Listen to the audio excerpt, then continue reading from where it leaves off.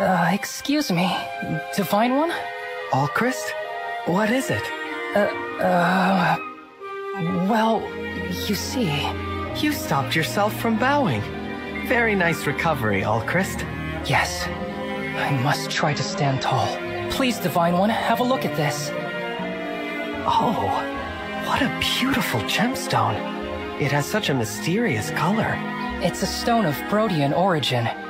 The coloring is quite rare, with red and blue mixed together. My father gave it to me when I was born. He liked how it matched my features.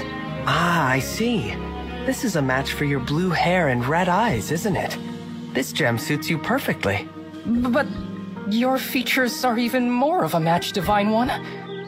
The color distribution differs, but it reminds me of you. I see someone I treasure who encouraged me to do things my own way. Wow. Someone you treasure, huh? My father told me to choose an important person to give this to someday. So, Divine One, please accept this as a token of, well, a token of my feelings toward you. Thank you, Alcryst. I gladly accept your token. now, it's my turn. I'd like to give you this ring. This is the pact ring. It is. And now, it's yours, Prince Alcryst. I, the Divine Dragon, grant you this.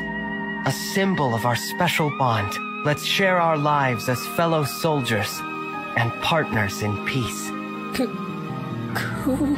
Uh, I'm sorry, did you just coo? Cool. Astoundingly cool. Impossibly cool. I can't believe this. I thought I stuck the landing for sure, but then you outshined me with an even grander gesture. And I don't even mind. This makes me so happy. Thank you, Divine One. Oh, oh Alcryst, please don't cry. I won't. I promise. I'll do my best to stand tall for you and for myself. Or, uh, taller than before at least. I suppose that's a start. And I will get stronger. Despite how I seem, I am a prince of Brodia. As a son of the Kingdom of Warriors, I will become someone you can rely on. And I pledge to always protect you, Divine Dragon. Thoughtful as ever, Alcryst. I can say all of this with the utmost confidence. In fact, I swear it upon this ring. I believe you, Alcryst. Thank you.